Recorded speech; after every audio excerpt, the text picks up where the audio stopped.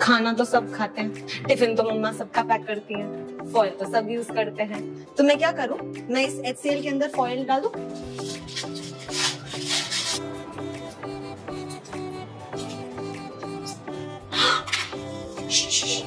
ये क्या है? ये कौन सी गैस है?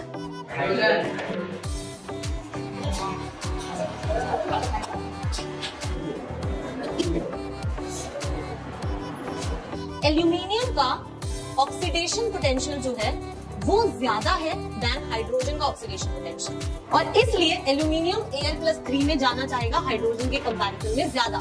और इसलिए कहते हैं कि वो ज़्यादा रिएक्टिव होता है।